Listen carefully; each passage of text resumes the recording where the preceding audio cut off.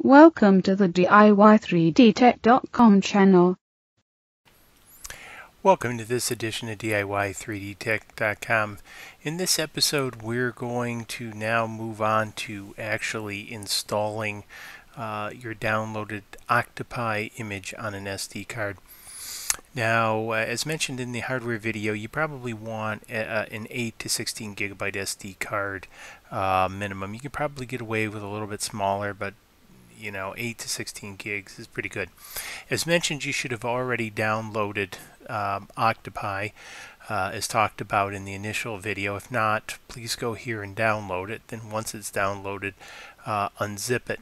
Now, the next thing you're going to need if you're running on a Windows machine, and I'm going to focus this uh, video series on Windows machines, even though I'm a bit of a, a Mac fan. Um, I'm going to focus on Windows because that's probably where the majority are going to come from. You're going to need Win32 Disk Imager, and you can get that here. And I'll put the link below um, to it to the SourceForge page, and you'll need to install that.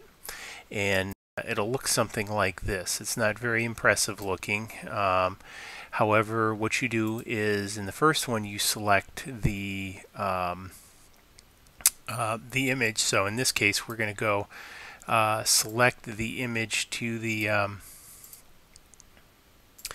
the file to the uh, image file that we downloaded. And I gotta think about a minute where I put it. And um, software. And this is the Octopi Wheezy distribution. So here you go. It's an IMG file. We select it and we open it. And uh, now in this case my uh, my uh, SD card is is I. And, and again make sure that um, you have this selected right so you're not overwriting another disk. And then once you're sure of all these things click right and uh, you know obviously it's asking me do you really want to do this? Because there's no going back. So I'm going to tell it yes so now it's going to write this this disk out. So uh, this this process, depending if you have an 18 an 8 to 16 gig drive, could take some time. So um, I'm not going to spend the whole time in the video watching this. So we're going to uh, let this move through. We're going to install it. Then once it's done, one of the things that we need to do is we need to go back here. And if we look at this, we're going to need to update octopi-network.txt uh, for our our LAN settings or our wireless LAN settings, if you will. So uh, we're gonna let we're gonna let this go back and finish installing, and then once this fin is finished installing, then we're gonna go look at the contents of the drive. Now for this, one of the things I would suggest is something like Notepad++. I'll put the link down below if you don't have this. It's freeware, uh, great uh, editor, and so we'll use that to actually uh, edit um, the file, you know, the, the octopi-network.txt file in the root and uh, update it. So um, I'll see you back here in a second or two by the magic of video. Okay, so um, Win32 disk imager is complete. So you see here we have the write successful box, so that's a good thing. Progress bar is complete, so we're going to say OK to this.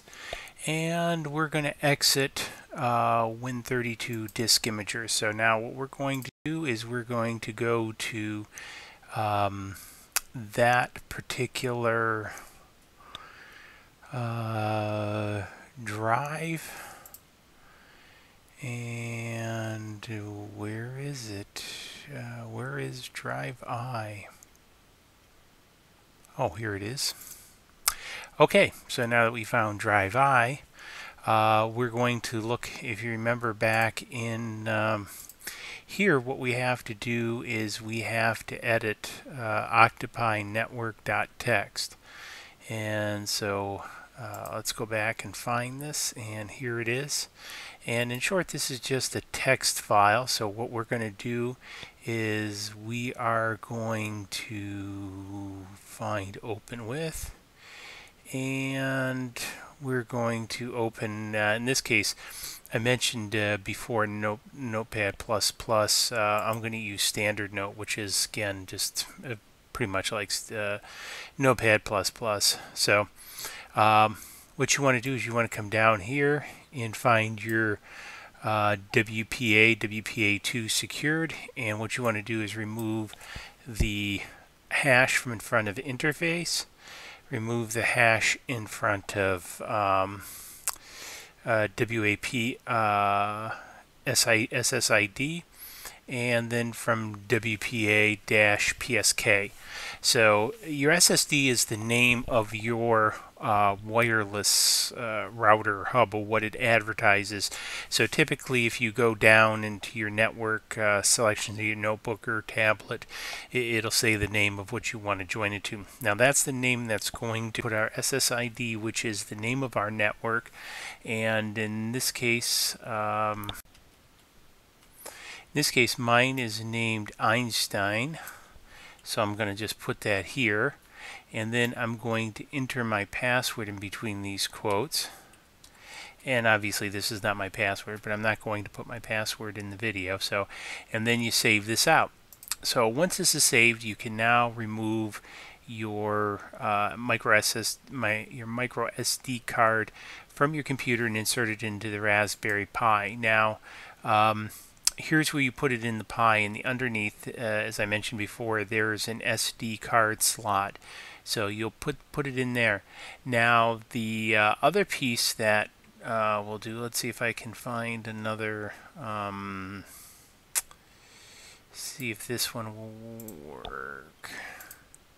So up here in the back you have a power LED and you have an access LED. The power LED will be red and the access LED will be green. So after you insert the card, you'll want to apply power and then once you apply power this green light should start blinking it'll take a minute or so for it to boot up and this green light will keep blinking all throughout this time and then finally uh, it should go off at this time uh, your card your your network dongle should you know typically glow uh, they typically have a little LED in them and that LED should light up indicating that the car that the dongle is now connected um, if it doesn't, I definitely suggest re remounting it and making sure you've select the, selected the right one. Um, a lot of people make the mistake and select WEP and, you know instead of WPA, etc. So make sure you get the right one. Make sure you get the right password. Make sure you get the right SSID if it's not working for you. And um, in the next video, we'll talk. We'll show you how to connect to the Raspberry Pi and to Octoprint. However, for this video, this this will be the end of this video segment. And uh, again, please, if this uh, series is helping you out, please give it a thumbs up. Even if it isn't, hey, give it a thumbs up. I appreciate it. You'll have my gratitude. And uh, also, don't forget to subscribe because as we push these out and we continue this series, you'll get updated on it as they come out. So, anyways, see you in the next video. Please click like below and subscribe to the channel to keep up to date on all of our projects.